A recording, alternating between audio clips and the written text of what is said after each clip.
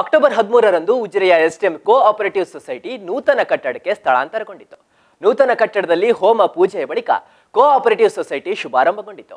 S STM ಶಿಕ್ಷಣ ಸಂಸ್ಥೆಗಳ ಉಪಾಧ್ಯಕ್ಷ ಪ್ರೊಫೆಸರ್ ಎಸ್ ಪ್ರಭಾಕರ್ ಈ ಸಂದರ್ಭದಲ್ಲಿ ಉಪಸ್ಥಿತರಿದ್ದರು. ಶುಭ ಹಾರೈಸಿದರು. ವಿವಿಧ ಗಣ್ಯರು ಆಗಮಿಸಿದ್ರು.